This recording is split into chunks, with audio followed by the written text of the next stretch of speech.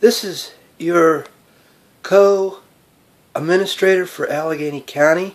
I would like to make an announcement about the common law, the People's Common Law Grand Jury Reinstatement Committee meetings. We are still having our meetings in Harmarville, PA at the King's Family Restaurant on 5 Alpha Drive.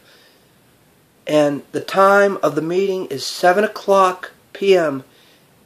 every Tuesday night.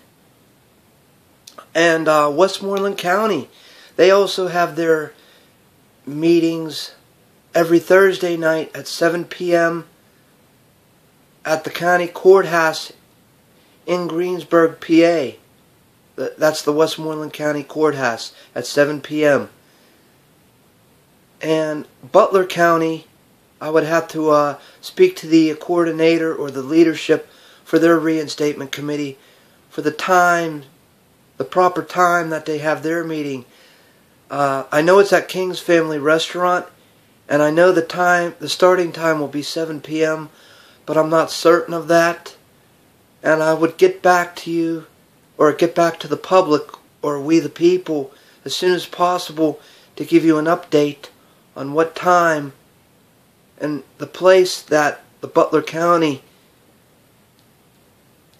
meetings take place for the reinstatement committee for the People's Common Law Grand Jury.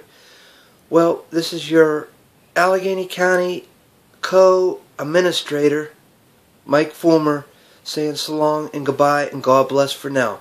Take care, everyone. Bye.